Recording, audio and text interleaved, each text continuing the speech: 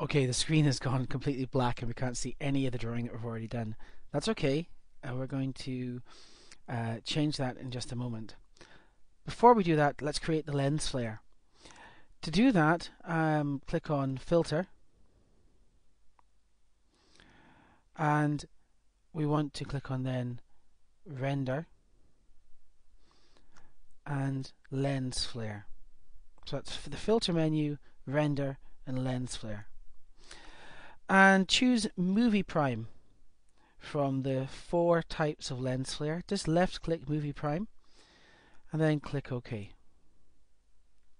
Now, that's created the, the lens flare that we want, but we want to do a few more things to it just to get it to look a little bit more attractive.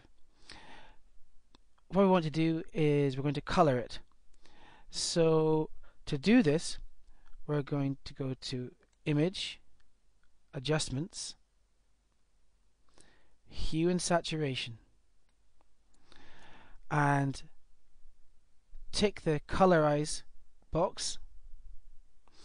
And for hue change the value to 215 this makes it look bluey white like an ice white which should go well with the white line that we already have.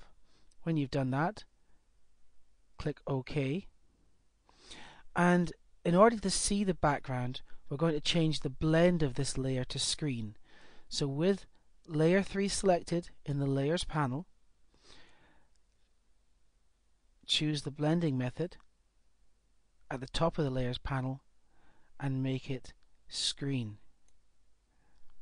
And you'll see that automatically we can see our lens flare.